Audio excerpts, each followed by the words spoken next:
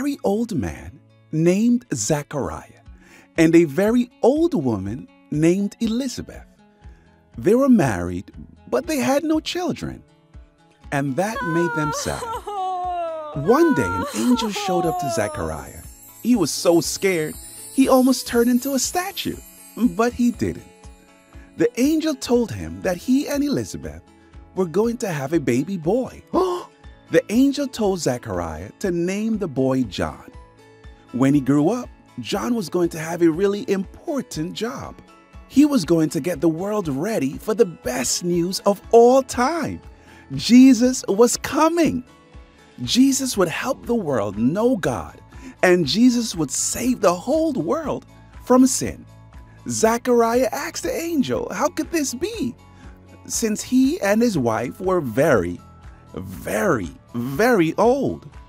And old people just don't have babies. Because he did not believe it, the angel told Zechariah that he would not be able to talk again until the day the things the angel said happened. And it really did happen. Elizabeth gave birth to a baby boy. When it was time to name him, Zechariah had to write. His name is John because he still couldn't talk. But the moment he wrote that, he could talk again. Everyone was amazed, and people everywhere began to wonder what John would do.